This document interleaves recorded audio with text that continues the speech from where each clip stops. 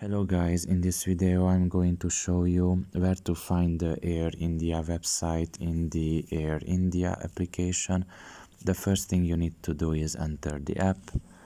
After you have done that and you are in the home page, you should look at the top of your left corner and you will see three lines there. Press on them and here you should scroll down a little bit and under the resources category you will see the last option which is Air India website press on that as well.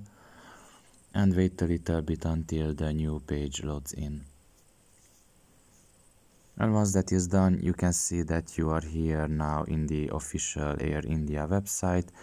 Now if may I have an advice I would say that it's better to check it out on your laptop or in the computer because in browser version it is uh, in way better looking than uh, in mobile but uh, in case you want to check out here this is where you find it.